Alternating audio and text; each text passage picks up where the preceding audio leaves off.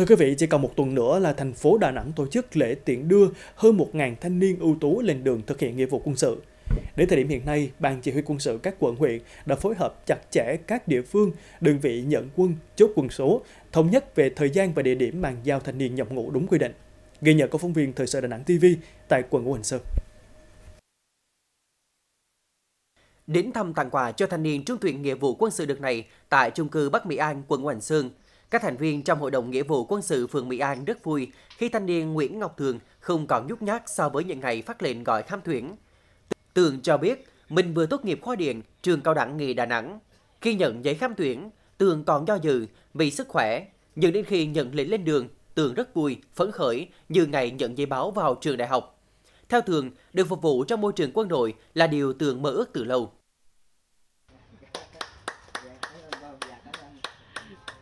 con là rất mừng khi được trúng tuyển thì con sẽ cố gắng là hoàn thành nghĩa vụ tốt của mình à, để hoàn thành nghĩa vụ của người thanh niên à, để mình về với gia đình với lại à, tiếp tục công việc của mình. Còn với gia đình thanh niên Phạm Hữu Công, tổ 38 phường Mỹ An thì có hoàn cảnh khó khăn hơn. Cha mất sớm, Công phải ở với ông nội từ nhỏ với nghề làm phụ bếp mưu sinh.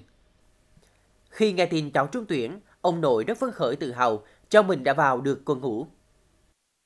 Giờ bữa hôm nay thì bây giờ là con cá rồi tôi trúng tuyển thì bây giờ tôi là mừng lắm chứ không mừng mà bây giờ cũng trông cho nó vô vào đậu rồi hang sa bây giờ coi như là cố gắng phục vụ thôi chứ có gì đâu.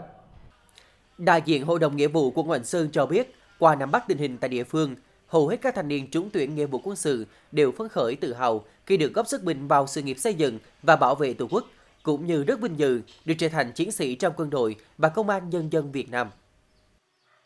À, hiện nay, thanh niên à, của quận Ngũ Hành Sơn trong năm 2023 thế thì à, xác định tốt cái tư tưởng và sẵn sàng lên đường nhập ngũ.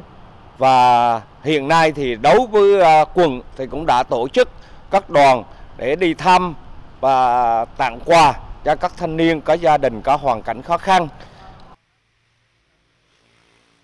Theo kế hoạch, 109 thanh niên trúng tuyển nghĩa vụ quân sự của quận Hoàng Sơn năm nay sẽ được biên chế 81 đồng chí về các đơn vị quân đội thuộc Bộ Quốc phòng, quân khu 5 và 28 đồng chí về công an thành phố Đà Nẵng.